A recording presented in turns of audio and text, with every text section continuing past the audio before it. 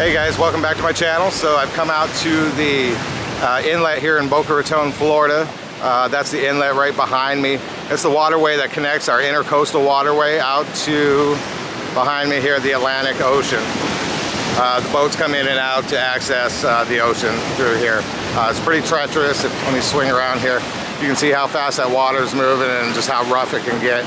I'm gonna try to shoot some long exposures with my 15 stop ND filter. Uh, hopefully we get some clouds uh, that kind of push in and uh, yeah, let's see what we can get today.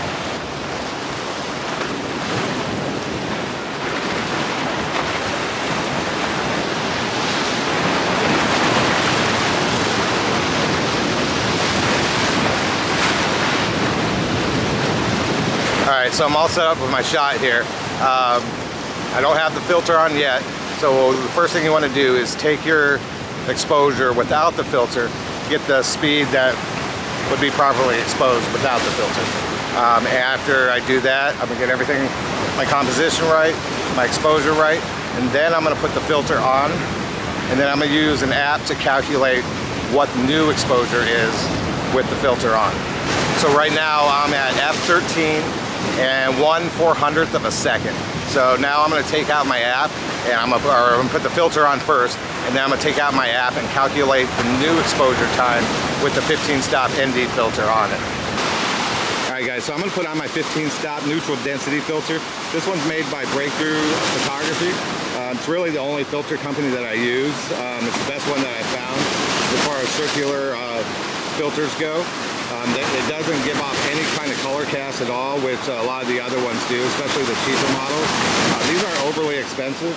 Um, this one is about $179 US. So, uh, but I've had great results with it so far. And uh, anyway, I'm gonna put this on the camera now, or on the lens. And uh, we got some clouds moving in here, which is perfect. I'm gonna take the app out and calculate the new exposure time.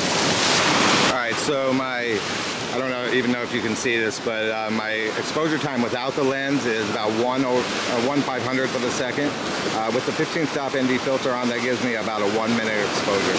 Uh, so I'm gonna give that a shot. There's always some experimentation with this, so I'm gonna start out at that one minute time and see what happens with that.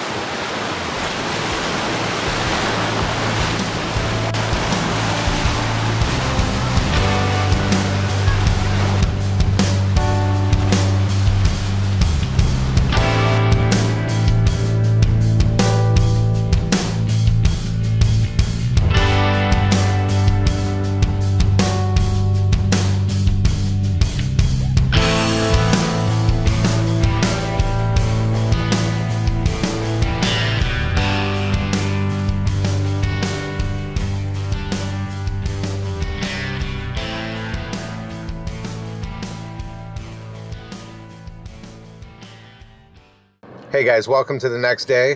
Um, after looking at some of the footage that I took yesterday, I've decided to come back to the same beach and redo a little bit of it. Uh, the footage was pretty cool, but some of the uh, tips that I was giving seemed kind of hard to follow. Uh, probably for a couple of reasons. Um, I was at the end of that jetty and the waves were uh, crashing around me and the high tide was coming in. Uh, just made it a little bit distracting and I don't think I was clear on some of the things that I was telling you. And also, I had a bunch of people start walking up uh, into the location that I was at, and I'm really not comfortable vlogging when there's people around. Not yet, anyway. Uh, something I need to work on, but yeah, I'm just not comfortable when people are near. So I've come back down to the same beach. I'm going to try to clarify some of those things that I was saying yesterday. Uh, hopefully, I didn't confuse anybody with it, but I think after uh, today, uh, hopefully it'll be a little bit more clear. So uh, let's get out of the car here and go back down to the beach and see what we can get. We got some storms building up again, so maybe some real ominous, uh, moody clouds. So um, looking forward to getting out there and seeing what kind of photos we can get today. Wow, check out all this seaweed. I have never seen it this bad before. That's insane and kind of gross.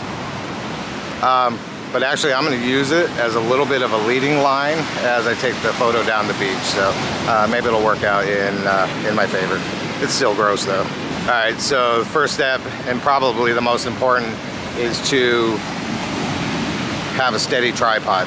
Um, you're going to be doing exposures anywhere from one minute to five minutes or more. even in the daylight. And you got to minimize any kind of camera shake. Your any any movement of your camera is gonna ruin your picture. So step one, sturdy tripod. All right, and the next step would be to get your composition right. Um, mine's is pretty basic right here. Um, I have these buildings uh, uh, to my right in uh, kind of framing the right side of the photo with that seaweed doing uh, kind of uh, making for a leading line down the beach.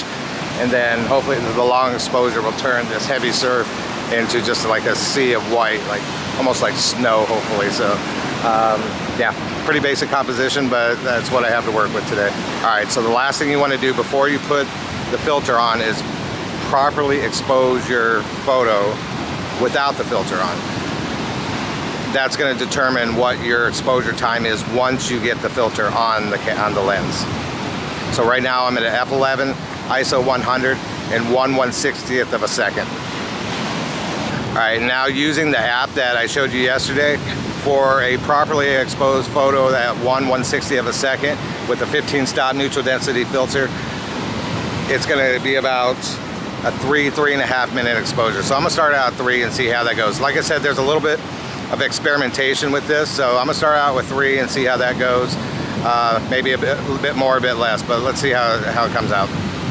Okay, so the final step before actually taking the shot is I put the neutral density filter on and I've, i put my camera into bulb mode and I'm gonna, to trigger it, I'm gonna use a Sony uh, shutter release or remote control. You can use anything uh, like an intervalometer or some kind of generic shutter release button.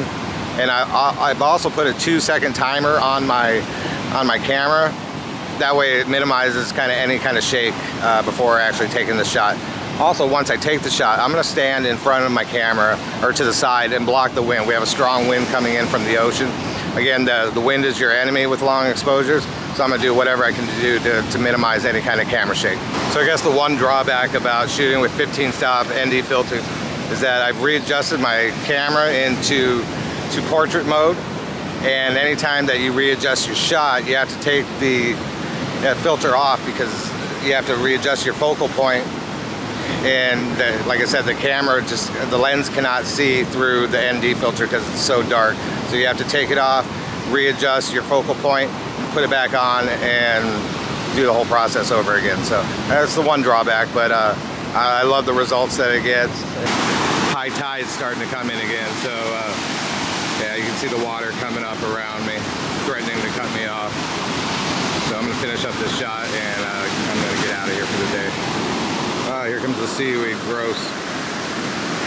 If you're joining my channel for the very first time today, I want to thank you very much for uh, watching along. Uh, hopefully you got some value out of that, and if you did, go ahead and hit that subscribe button and leave me some comments on the uh, photos and the video. I try to release a new video every Monday morning uh, around 9 a.m. Eastern Standard Time in the United States, so be on the lookout for that. Um, until next week, thanks for joining in. Stay safe, wear your mask, which I'm getting ready to put back on. Take care of each other and have a great week, guys. Thank you very much.